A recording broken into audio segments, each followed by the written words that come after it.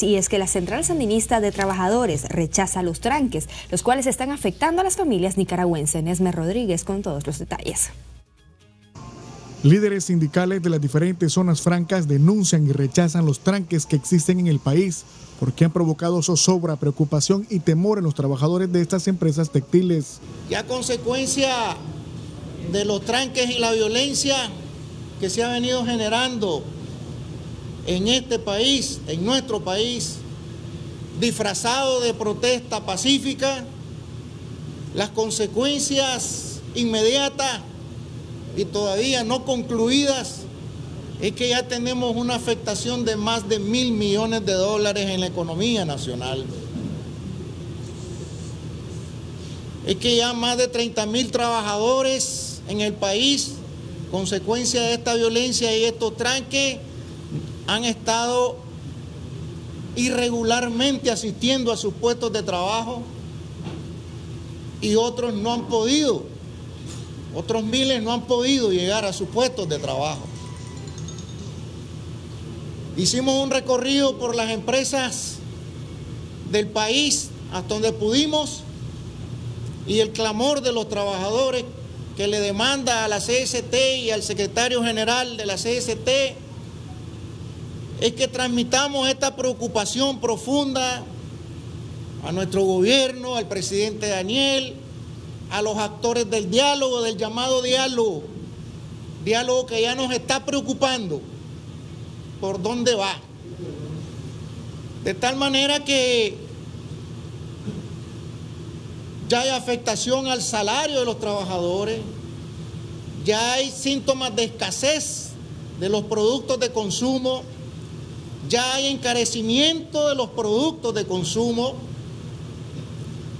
ya hay dificultades serias para pagar las deudas de los trabajadores y los usureros y a los que le deben los trabajadores le están cobrando todos los días y con tasas de interés altas. Esta situación ha traído consigo inestabilidad, inseguridad para estos trabajadores que son el único ingreso y sustento de sus familias, porque debido a esta problemática muchos no llegan a su centro de labores y otros son bajados de las unidades de buses. Ya hay preocupación de la familia y por lo tanto entonces lo que nos han pedido es que transmitamos con carácter de urgencia esta situación. Y nos han pedido que también le hagamos un llamado a los actores del diálogo nacional y que le hagamos un llamado especial a los obispos de Nicaragua porque lo que los trabajadores han visto mediáticamente es que en ese diálogo y en las sesiones del diálogo que se han realizado en estos días, lo que ha servido es para destilar veneno, para expresar amenazas, para instigar a la violencia. Y no hay un solo llamado a la paz. No hay un solo llamado a la estabilidad y a la búsqueda de una salida. Frente a los obispos y en la casa de Dios han estado haciendo esto los llamados defensores de la paz. Y en nombre de la paz hay destrucción, hay violencia, ya hay daños profundos en el país. ¿Cómo vamos a construir paz con destrucción y violencia? Por Dios.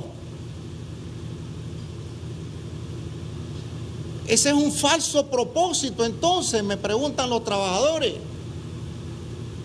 Porque entonces lo que ahí se está dando no es realmente un diálogo.